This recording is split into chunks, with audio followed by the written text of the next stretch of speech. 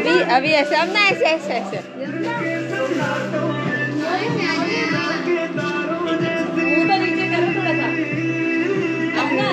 अम्मी का भी ले ले अम्मी का भी ले ले। अम्मी आ देखो ये बच्चा है। किसका बकरे का बच्चा बकरे का और बच्चा है। में देखो।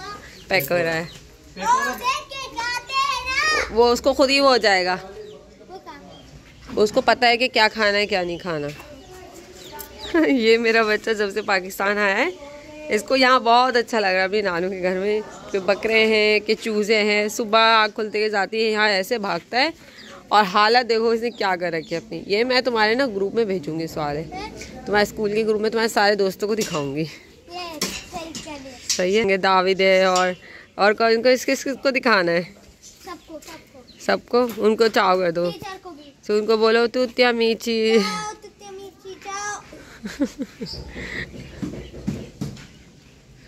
और यहाँ जो है वो यहाँ पे झूला लगा रखा है। और इसके साथ ही यहाँ पे इन्होंने बहुत सारी चूज़े वूजे रखे हुए हैं। और ये चूज़ों भाग रहे हैं। और मुझे बकरी से डर लग रहा है। और मेरे बच्चे को नहीं लग रहा। अरे क्या ये क्या बात हुई? गंदी बात। हम्म। जैसे कि आप देख सकते हैं कि गाड़ी है हमारी नहीं है। हमने खुद इसको जो है किसी से लिया है। और ये कितनी साफ़ सुथरी है। आप लोगों को यकीन है तो क्योंकि इतनी साफ़ गाड़ी तो कोई आयत को ही रखता ही ना हो। और ये देखिए कितनी साफ़ सुथरी गाड़ी है ना।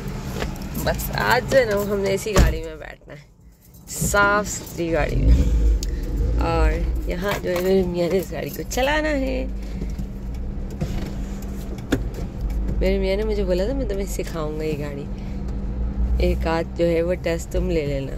लेकिन अभी तक नहीं सिखाई है। पता नहीं कब सिखाएँगे। कब सिखाओगे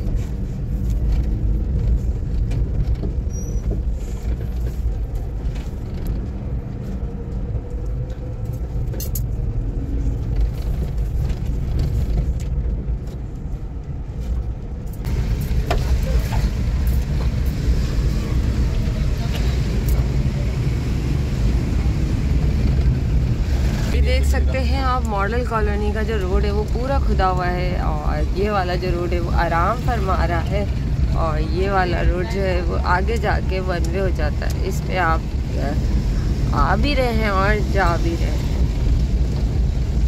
और ये सिर्फ़ हमारे इस मॉडल कॉलोनी का ही रूट नहीं है। ये यहाँ पर तकरीबन हर जगह का जो है ना, यही हिसाब किताब है। थोड़ा सा आगे चले जाएँगे तो मलिहाल कारमलिट पंद्रह गुलशन मतलब आपको इवन हर जगह अच्छे से अच्छा जो है वो बेंगलोर बने हुए हैं और वहाँ के रोड जो है सामने के खुदे पड़े हुए हैं।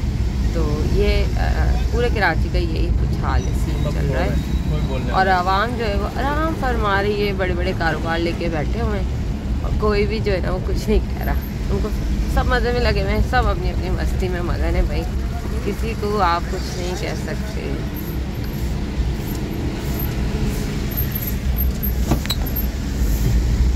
ये झाड़ू लगा रहे हैं ना दुनिया हाँ। तरक्की कर गई है? अभी तक ये झाड़ू से काम करवा हाँ रहे हैं झाड़ू से तो- और एक बजे निकल के आ रहे हैं। हाँ। जो जिन लोगों को सुबह सात बजे छः बजे आके सफाइयाँ करनी होती हैं वो भी इतने आराम तलब हैं कि वो भी उनको भी पता है कि आराम से जाएँगे सफ़ाई करने। तो वो भी जो है अब एक एक बजे आ रहे हैं। एक एक दो दो बजे आ रहे हैं सफाइयाँ करने। डेढ़ बज रहा है और डेढ़ बजे निकले पड़े हैं वो सफ़ाई करने। इतने आराम तलब हो गए हैं जमादार भी यहाँ के माशाल्लाह से।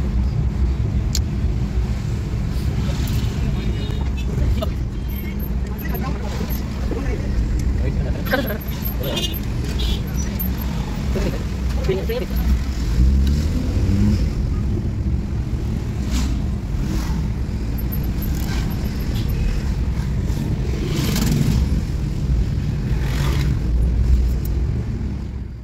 हम ले आए हैं माचो मैन, दूल्हा को।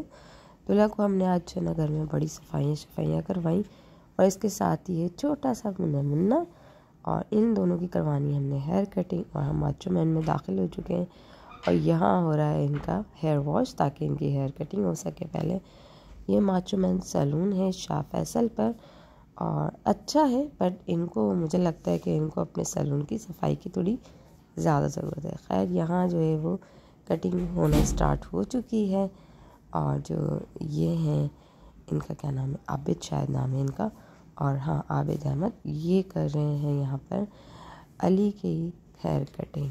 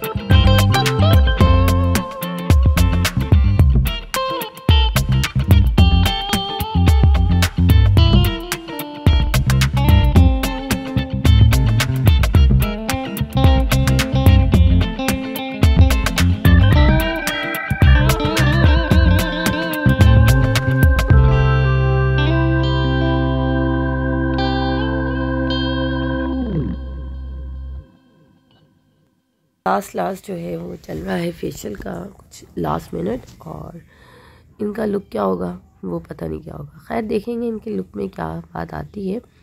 और मुझे दीजिए इजाज़त, मिलते हैं आपसे एक नए ब्लॉग के साथ। अल्लाह हाफ़